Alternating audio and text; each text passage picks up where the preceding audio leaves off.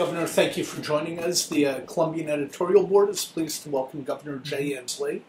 And it, it's nice to, uh, during campaign season, we've had lots of, uh, interviews with candidates. It's nice to have a non candidate so we can just have a discussion. It's just a moment of relaxation It for is you. for us, is, yes, during a very busy time. Yeah, so for thanks sure. for joining us. I Yeah. guess, uh, first of all, uh, what brings you to town? Uh, good news, um, and there is good news here. Uh, the principal reason for coming is to look at some of our homelessness efforts that are going on in the county.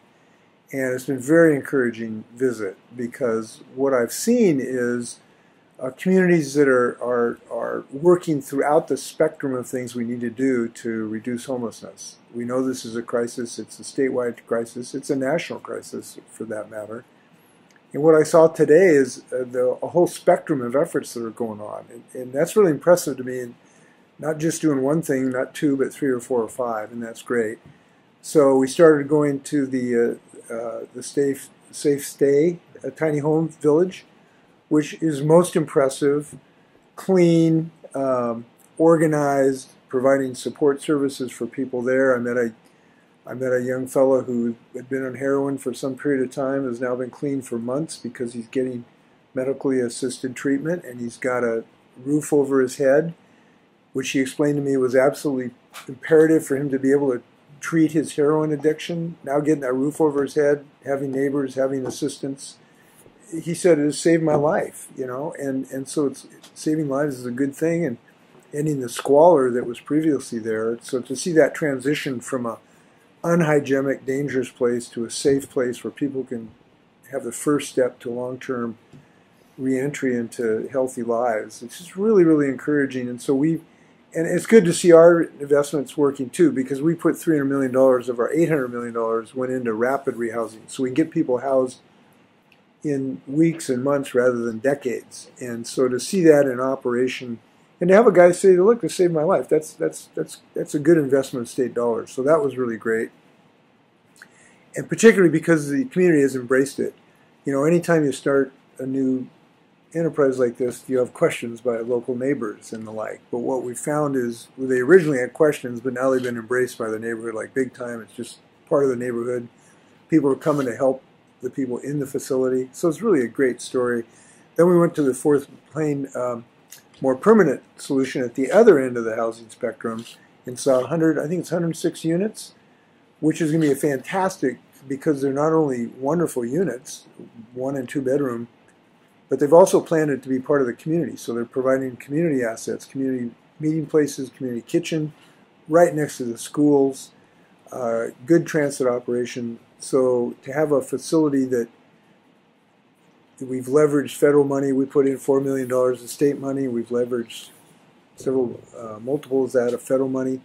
It's just having a community-oriented development like that on the more permanent side of the spectrum was was really great to see. So we we've in a short period of time we saw some really uh, both creative and I think successful ways to address the homelessness. Now, obviously, those two spots aren't going to solve the whole problem, but they've shown a rational, comprehensive approach to the problem that this community is, is showing, and we intend to help at a state level as much as we can. Now, I talked to your mayor. We got more work to do. We got to have more land to build on, so we need some zoning reforms to allow us to build more higher density housing. It's one of the things I'll be pursuing with the legislature again this year. And so, is that something that would have to come at the state level? It can, it could be done at the local level, but it, we need to do it at the state level so we have a state all working on this together. So I'll be pursuing some ways to incentivize and to some require uh, uh, opening up some additional land, particularly around transit corridors, um, uh, to higher density development. It's our only option here. You know, we, we're not generating more acres in the state of Washington, so we just need more places to build. So I'll be working with the legislature. We're making some progress on that. I've had some good talks with the Association of Washington Cities and the like. So I think there's a good shot at moving the ball on that. It's absolutely necessary. That's the principal reason we came down.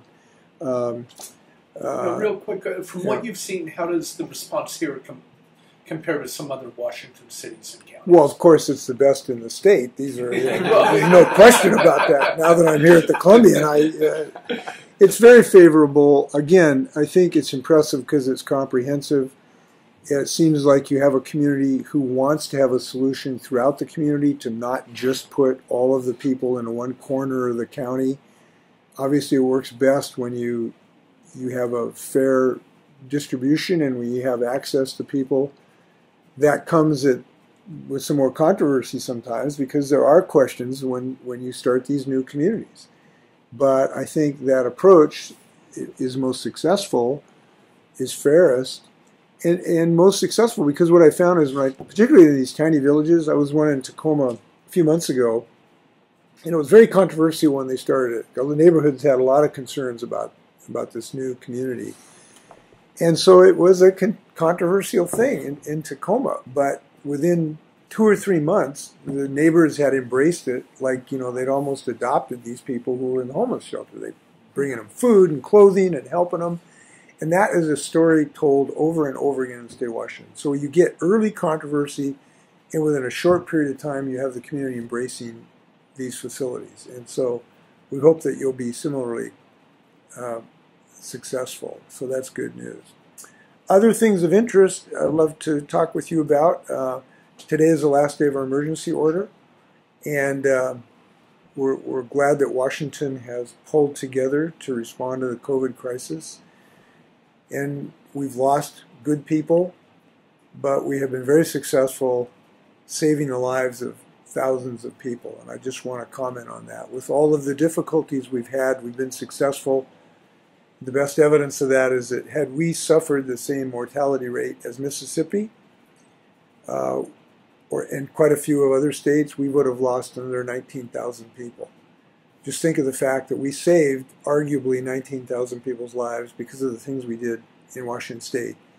And the efforts that people made in, in a very difficult position, I think we should all be grateful for, particularly the people in medical care, the nurses who, who've worked so hard throughout this the physical therapists, the maintenance people, the physicians, what they've done for us has been truly remarkable, and, and we've saved a lot of lives coming through this together.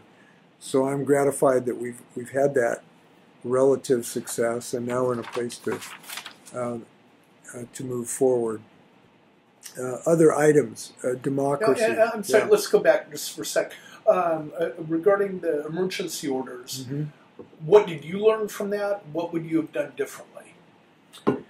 Well, what I learned is is that people are able to rise to an occasion because Washingtonians did rise to the occasion of something they'd never experienced in life.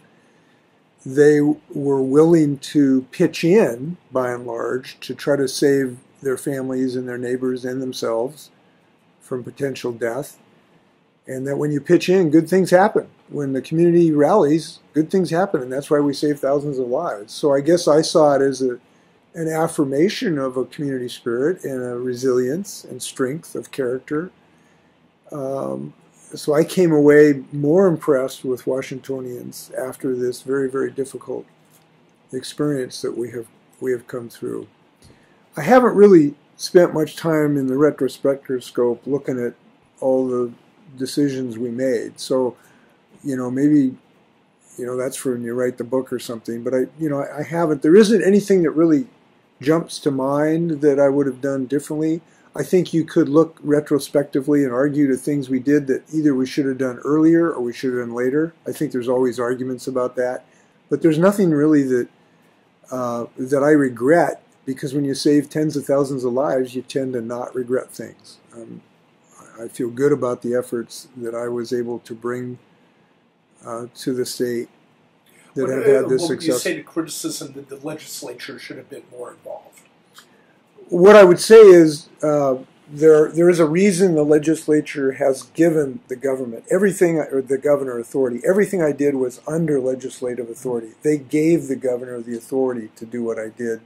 There was nothing contravening to that legislative authority had they seriously wanted to go in a different direction, they could have done so by passing any bill that, that they were that they were able to. There were no bills passed to contravene our authority, nor was there a serious effort to do that. So I think by and large, the legislature, not necessarily both parties, but the majority of the legislature was was by and large supportive of the governor's emergency orders. And the reason is they, the reason I say that is they didn't change them, nor did they seriously evoke an effort to do so. Um, the, uh, the other party, the minority party, uh, had a lot of complaints, but not a lot of solutions, and never really, really seriously tried to assert responsibility uh, for for responding to this emergency. So I'm glad that we're through it now. I think that democracy worked. We were always in compliance with our authority. Um, I note that we were sued dozens and dozens and dozens of times, and the courts upheld what I did every single time. We won like 42 lawsuits in a row.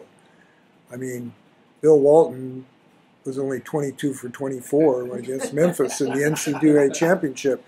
We made every shot, uh, at least legally. So I would say we were clearly within our legal authority, and I think the results were uh, profoundly life saving. And so I think that's the general the, the takeaway uh, from it. But speaking of democracy, I am very concerned right now. Um, more so, certainly during my lifetime. I've been in public life, you know, for maybe 30 years, and this is a moment of time where democracy is very much in peril.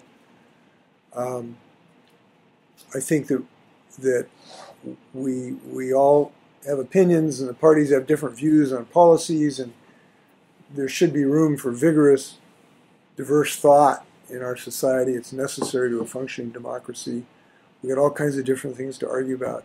But if we lose democracy, we don't have anything else to work on. We will not succeed on anything else if we lose democracy. And democracy very much is under the sword of Damocles right now. Um,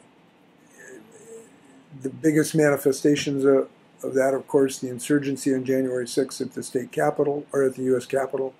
The same day, uh, an armed mob attacked the governor's residence while I was there. Uh, then we saw the attempted kidnapping of a governor in Michigan, and now we've seen the violence against uh, the speaker's husband at her at her own home. These things all have something in common, and that is that there has been a a fertile field that has been uh, prepared for political violence for those who have denied our election results, for those who've purposely tried to reduce the support for democracy by not respecting elections. And we are in a very, very dangerous moment because of that election denialism. And uh, if we lose democracy, none of this else, how are we going to solve our common problems? And I think that all people owe all of us a clear clarion bell of ringing the liberty bell, which is our elections work. They help us resolve things. They reach majority decisions, and they have been successful. And this malarkey, fantastic conspiracy that some are trying to promote or enable is extremely dangerous. And I'm very concerned about this moment uh, that we're in because of that. And I hope people are going to go vote. And I hope that they will exercise their franchise for whatever they think is a right vote. But I hate to see that suppressing voting behavior as well. So I just want to share that with you. What do you think of Joe Kent, our uh, congressional candidate from Southwest Washington?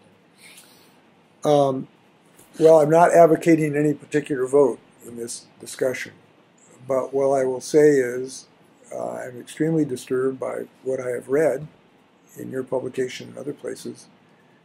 And I will say generally that any person in office or anyone who seeks an office, whether it's school board or Congress or governor or anything else, who is enabling and promoting uh, deception and conspiracy theories about the integrity of our elections, uh, I can't see how they can successfully serve in a democracy in any capacity. Uh, if you attack the very foundation, the very fundamentals of democracy, I don't see how you can succeed as representing everyone in that democracy. And so the disturbing things I've read that he has apparently uh, done repeatedly is extremely disturbing. And it continues. And by the way, I should point this out. The insurgency on January 6th is continuing. This is a continuing insurgency. There is a continuing effort to cast doubt on the validity of the election. And this will lead to a dysfunctional Congress if that is allowed to continue where that effort will continue in the U.S. Congress, frankly. uh, depending on how many of those folks are in Congress, and that will disable the ability of Congress to deal with things we really need to get done, like building a bridge across the Columbia River. And so I, I'm extremely concerned about about that possibility. So this is not over. We're in the we're in the beginning stages of a continuing insurgency, and I, I think it's hard to consider. People thought January 6th was a one day deal. No, it is a is a current virus that continues unabated. What, what can an average citizen do to combat that? Well, I'm not expressing a, a recommendation of how to vote or who to vote for, but voting is ultimately the best thing a, a citizen can do, as well as speaking. Buying So the, the there- Columbian. There are uh, 19 politicians running for the office of governor across the country uh, that believe that the 2020 election was stolen. Um, so, a- as governor, how do you how do you see that playing out if some of these people are are in gubernatorial positions? Well, first off, you don't know what they really do believe. It's hard to believe that a person can look at something like 45 lawsuits that have now been resolved and have concluded that there has been no significant inappropriate behavior in voting, including by Trump appointed judges. It's hard to know that you could know that, that 45 judges have ruled that these, these elections were fair, and say that you truly believe that there was skullduggery involved. I'm not sure they really do believe that, but they've discovered a, a, a mechanism to drive fear and distrust and hatred that's driven a, a sword right through the heart of democracy that they think can help their election. Same with Trump, frankly. Look, he was he was you know kind of pro-choice, and he discovered how to manipulate the electorate, and that's what they're doing. They're manipulating the electorate, and it is a dastardly act to manipulate the electorate with falsehood, and they know they're doing that. Frankly, if you scratched them, they'd have to say that if if they ever had a truth serum. So it's hard to think they actually believe it, but they have found out that because of social media and other mechanisms, they were able to create a, a misperception in the public, which has fanned the flames of this anti-democratic movement. And we should all be very, very concerned about this wherever these elections are, because the election in Arizona affects the election of the President of the United States.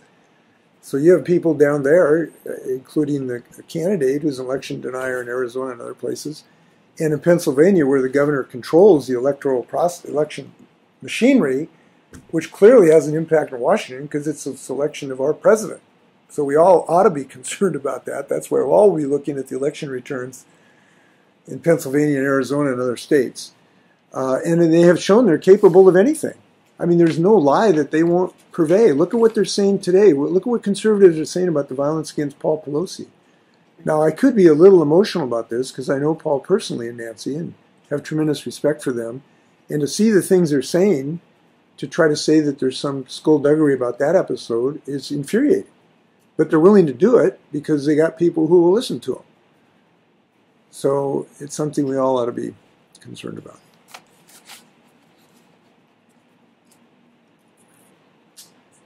How confident are you in uh, uh, Washington's election system? We have a county auditor uh, candidate who's opposing, I believe, our six-term county auditor. Uh, so and says that there's uh, the elections have long been stolen in Clark County. Uh, So how do you respond to somebody like that? What what should we do is uh, to try to um, inform people like us?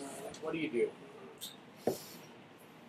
Well, I guess what I would say is if you if you were enabling through voting or any other activity this election denialism, you really are accommodating a continuing insurgency. You're part of January 6th. You're part of that mob on January 6th. And if you see yourself aligned with those folks, then I think you're you're on the, you're on the wrong side of history, and you're certainly on the wrong side of democracy. But you're part of that if you are enabling that right now, and that's the point I kind of want to make. This is why I'm saying this is this is a continuing insurgency, and clearly that kind of language is.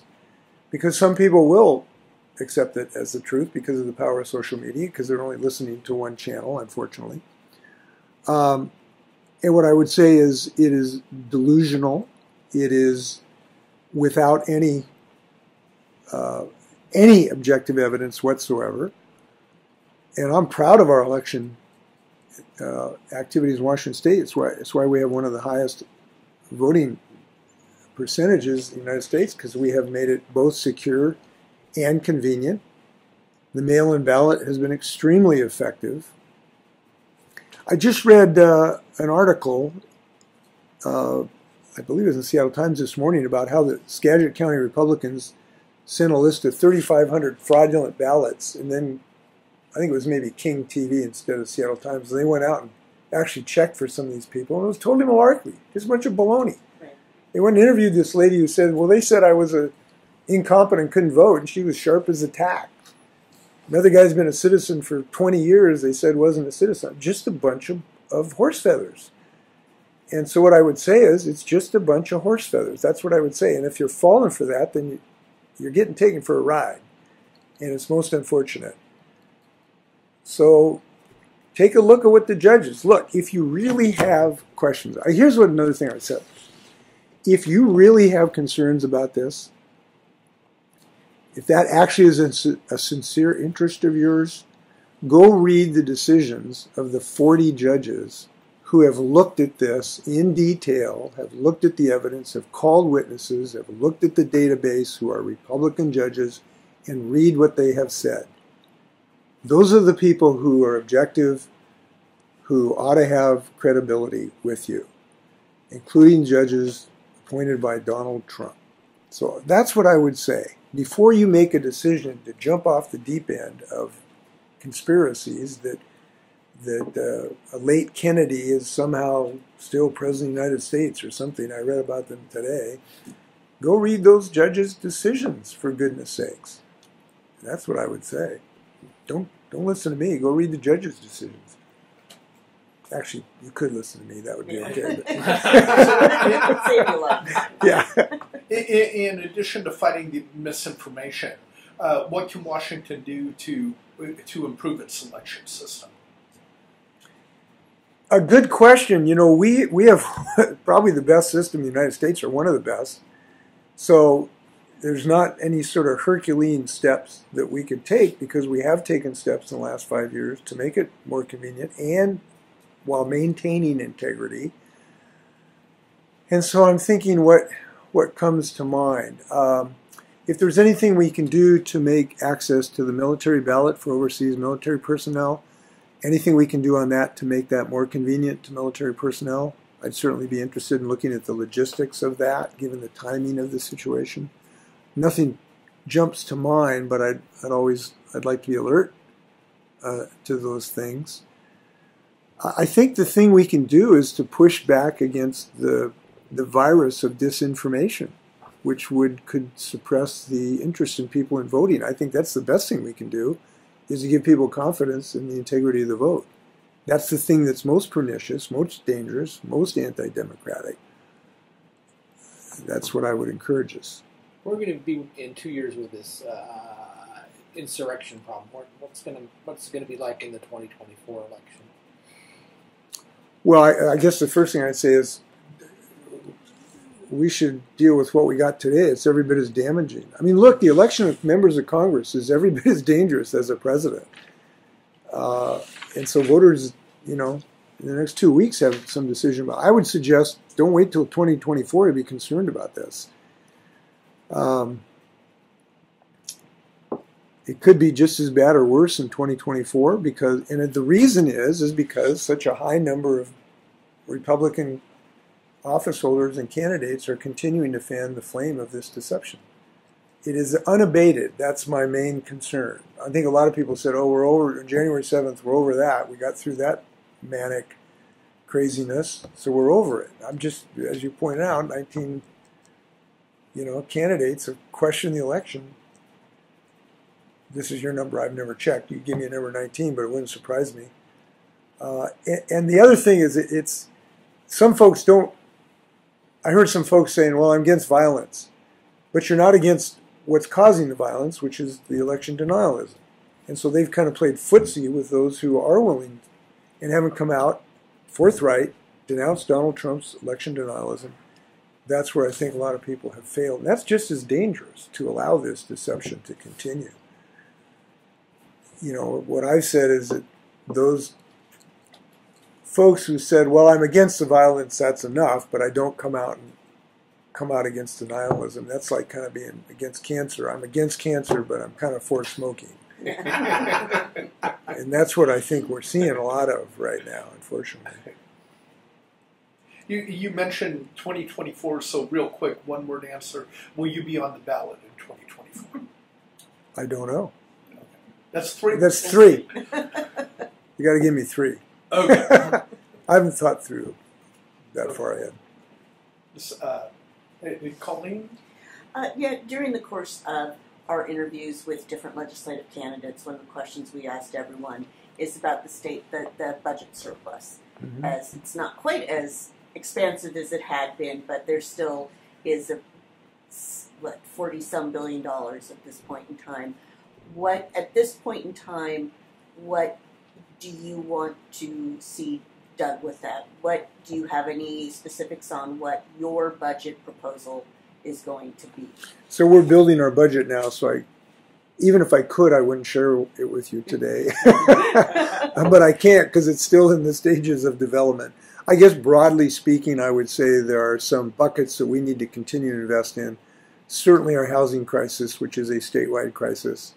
Certainly, in our mental health uh, crisis, particularly for our young folks to improve our mental health capacity.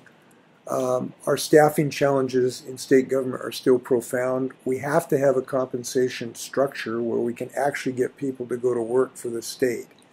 And so, increasing our competitiveness to actually be able to get people to come to work in the ferry system, to come work in Western State Hospital, to go to work in our colleges, you've got to remain, you have to be competitive. People are going to work for you. So, we have to be competitive uh, in, in, in that regard.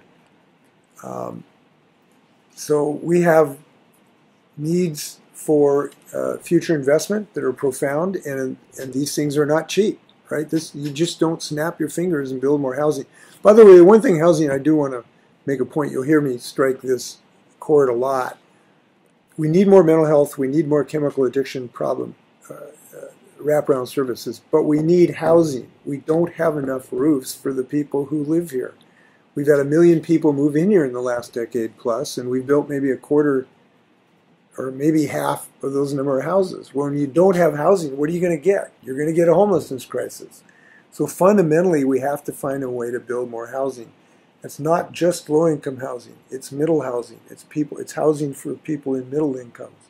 Because if you don't build housing for people in middle health, in the middle of your market, they squeeze out those in the lower income by raising rents. And that's what we've been experiencing. Not everyone who's homeless has a mental health or chemical addiction problem. A lot of people just can't pay their rent even though they're working. Mhm.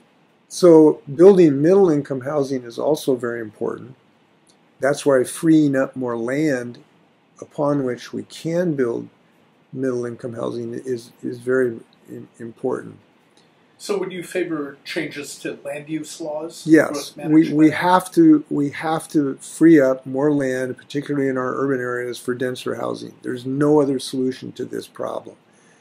Unfortunately, vast swaths, I think it's 80 or 85 percent of Seattle is is zoned where you can't build housing for people, and so you, you have to we have to change some of our zoning, our restrictive zoning laws that are contributing to our homelessness crisis. There is no other way around this. And so, working on a statewide basis to enable and encourage local communities to do that is something, there's no other solution to this problem. Got to build more housing. And some, I say this because it, it's one of those obvious things that we don't say enough. That's a real issue around this county. Uh, so the area by the Clark County Fairgrounds is, is poised to be redeveloped for more housing. And of course, it's, uh, there's controversy locally, as there always is with projects. So anyway, so that's an interesting. Uh, people that is, that is a statewide issue. Is that the case even in eastern Washington, or Yes. in western Washington? more so in Western Washington because the growth curve, but still, this is a statewide issue. We need housing everywhere. There's homelessness crisis in every urban area in the state of Washington. Hmm. And so it is a statewide issue. It's why the state legislature needs to act act on this. And again, it's a in part an irony of success. You know, we have one of the most successful states in the country. U.S. News and World Report listed us as the best place to live. We were just listed as uh, recently as the best one of the best places to work. I think we were either number one or two. We've been listed as the best place to to be a business. So we've been listed in all the best places, either one, two, or three, in the, for the last several years. But as a result, everyone wants to move here. So everybody's moving here, particularly high tech workers who are high income, and they come. We don't build enough housing, and they boost the, the housing costs, and people then end up homeless. So it's it's an irony of success that we've had such a success in our state of Washington in so many different ways that ends up as one of the factors of our homeless crisis. That's why you got to build more housing.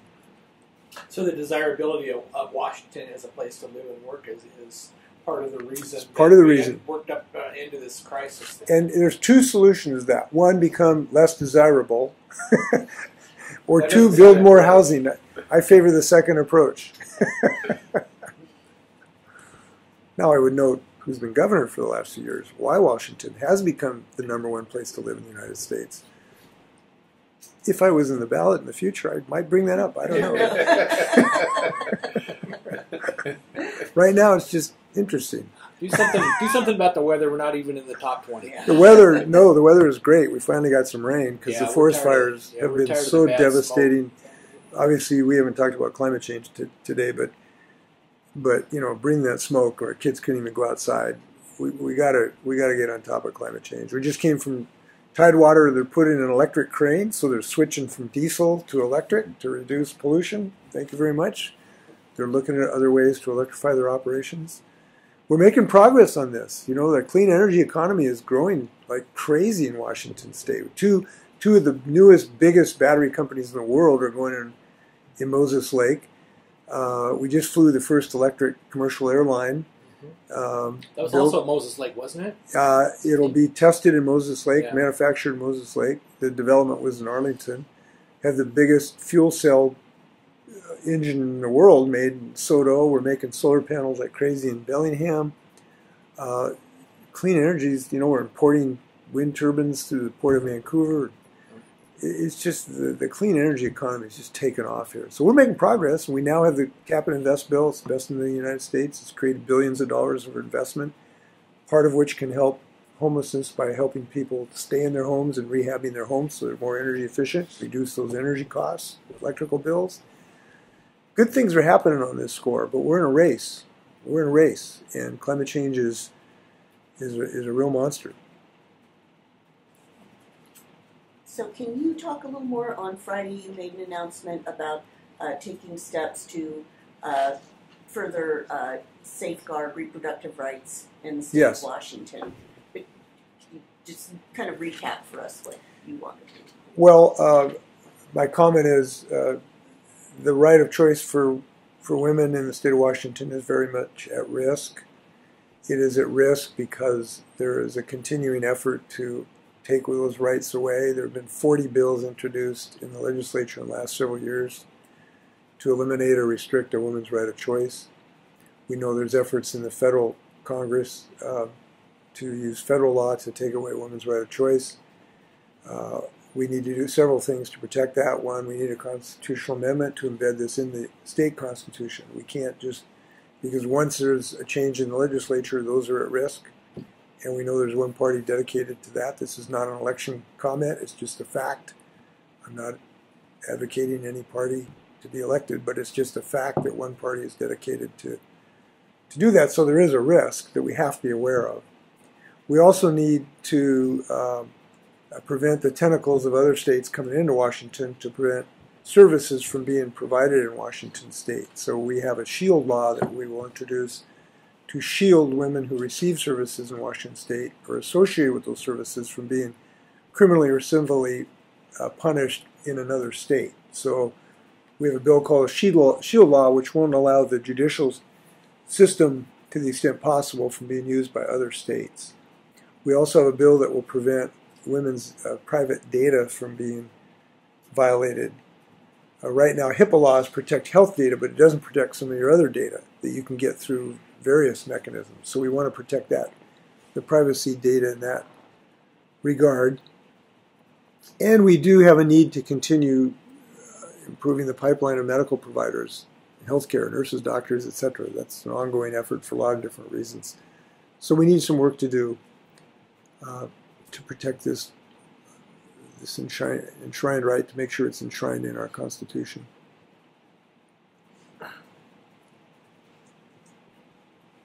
So, uh, where do we stand on the I 5 bridge?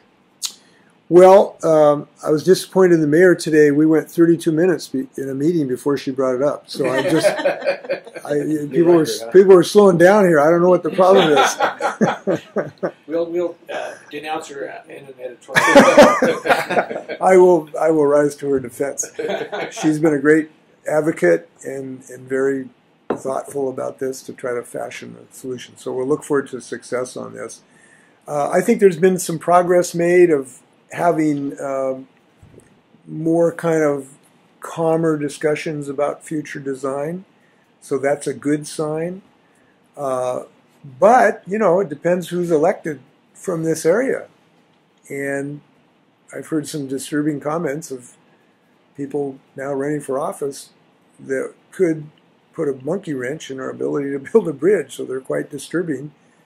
Uh, and what kind of partner we get in the governor's office remains to be seen in Oregon. I hope we have someone that will will be a better rather than less effective partner. So it depends who's elected on the prospects of this. Um, again, I'm not here to advocate an election of anyone, but it depends who's elected. It has a big impact on our ability to move forward.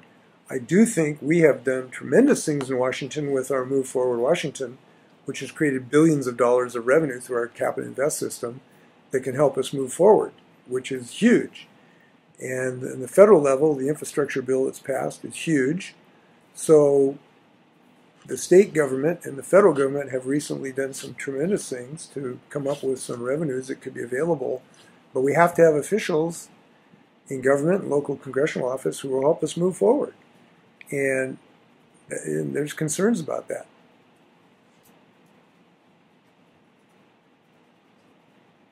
In this, you know, continued just ideological mania to say we should never let anybody in Oregon cross the river is just is just the height of you know paranoid ideology trumping the way to just get to work in the morning. So that's pretty disappointing.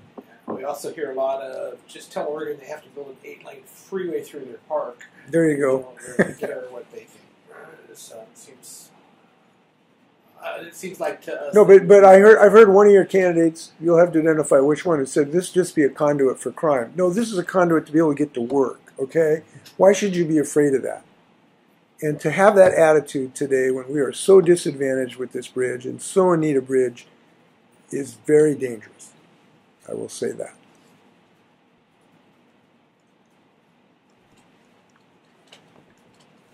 So, any other questions? Yeah, What else is on your mind, Governor? Uh, trick or treat. We're doing uh, our first trick or treat at the residence tonight in two years, so we're looking forward to that. That'll be fun. Trudi's going to be Morticia. I get to be Gomez. Thank you for uh, Thanks for coming thanks for giving people professional journalism. We need you more than ever. You've heard me say this before, and you know part of this threat of democracy is the ability of social media for deception to be injurious to democracy, and having professional journalists with some degree of objective reality is so important right now. So thanks for being here for us. We appreciate it. Thank you. Thanks for joining us. Yeah. Some days better than others for us. We need you. We need you people who have some professional obligation to check the veracity of information. And and the the inability to get that is so dangerous in our democracy. And we're seeing the fruits of that on January 6th. I saw it on my front lawn. Armed guys came on and knocked the fence down because they'd been swallowing this baloney on social media. So I'm glad you're here. Thank you. Thank you. Thank you. Thank you. Don't forget to vote.